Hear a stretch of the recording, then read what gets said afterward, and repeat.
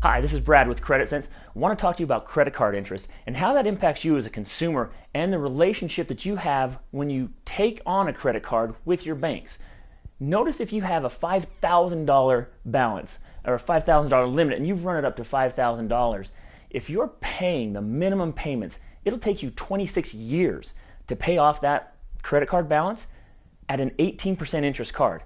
If your card's 21% or more, it's going to take longer.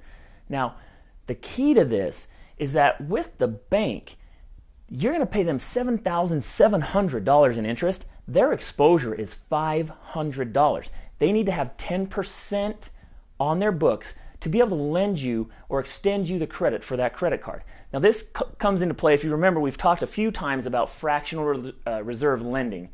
This is another example of that. This is important when it comes down to time if you're ever in a situation where you have uh, a credit card that you're not being able to pay, you're trying to negotiate a lower balance, remember how much the bank has on the line. At $500, they're made whole on the capital that they had to have on the line to lend you the credit card or to lend you that amount to be able to go out and use that credit card. If they have $500 on the line, there's a lot of negotiation room in here so that they can still make a profit and so that you can save yourself a little bit of time and a little bit of money when it comes to paying things off.